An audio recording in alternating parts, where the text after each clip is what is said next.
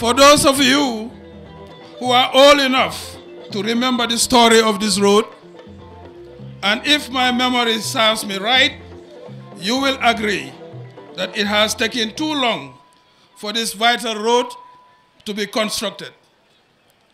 It has been close to over 40 years of planning by past governments, year in, year out, without any ground breaking. However, today, we mark the final completion of the works after three years, we commenced on 2nd February 2017, coinciding with the start of this government under the leadership of His Excellency, the President Adama Barrow. Nobody, therefore, can rewrite this historical moment otherwise or erase this eventful accomplishment.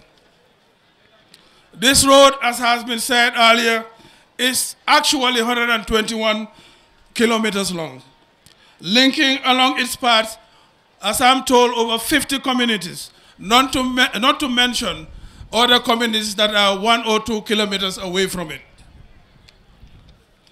It provides greater access to vast tracts of agricultural lands. It, it provides access to social facilities such as schools and health centers. It facilitates greater movement of people and goods, and it enhances the market potential of Sami, Sandu, Wuli districts, and beyond.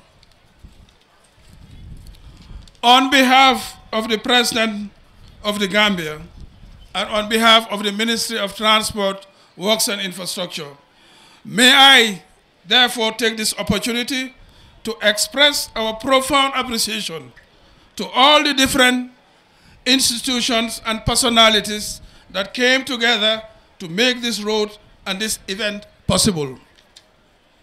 I wish to mention the, fellow, the following development partners that contributed immensely to this project. And I'll start with the Saudi Fund. Also, the Kuwait Fund for Arab Economic Development, KFAED, the OPEC Fund for International Development, OFID, the Arab for Economic, the Arab Bank for Economic Development in Africa, BADEA, Africa Development Bank, AFDB, the government of the Gambia. They are all contributors to this project. This goes to the managing director of NRA, Mr. Momadou, Senghor, and the project manager, Mr. Bala Sise. They have executed their respective roles with the right level of dedication to achieve the results we are witnessing today. We thank the consultant team, led by Mr. Mahmoud of the PACE, and also the local partner, Mr. Modu Gay of Cityscape, for their professionalism and in ensuring that the works are up to the expected standards. We thank the contractor team, led by site manager Mr. Ali Ariski, who spoke earlier, who was fully supported by the general manager of the company, Mr. Tariq Ariski, for executing the works up to the desired standard, less than the contract period and less than the estimated cost, allowing us to engage in extra works such as the Yarobal and Bansang sports.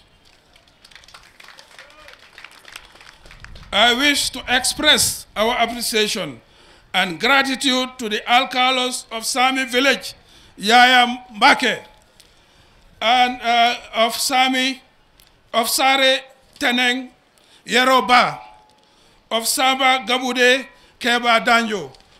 We are most appreciative of your contribution in supporting our workers and our teams. Uh, we also thank all other alcalos and members of the various communities along the road alignment for their warm welcome and support to all the men and women who work in this project. Lastly, I wish to thank all the professionals technical staff, and the entire labor force that worked in this project. Most of the time under very difficult conditions. It is clear to me that it, is, it must have been taking great dedication over and beyond your terms of reference and pay to achieve this level of success. Let me therefore heartily congrat congratulate all of you for the successful completion of this important project. Thank you.